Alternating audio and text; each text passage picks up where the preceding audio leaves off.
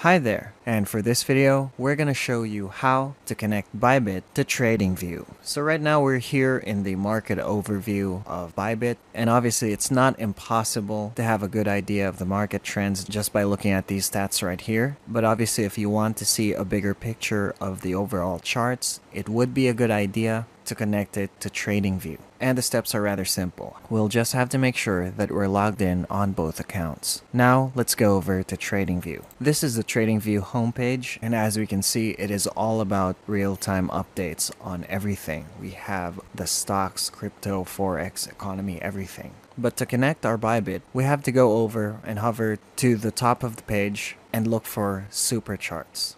Now let's click on that now once here, it automatically brings us over to the trading panel and that's where we want to be. Here you can see connect through our trusted brokers. Just click on all brokers and let's just look for Bybit and we see it right here.